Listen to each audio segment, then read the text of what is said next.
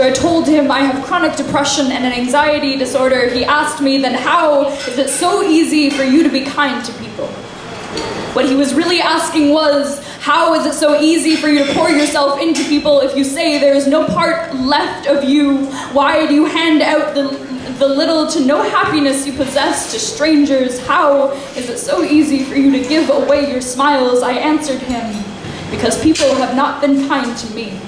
What I really said was, I know the feeling of this world's violence like a tap on the shoulder. I have been made a home of by the shadows. You have the tools to banish.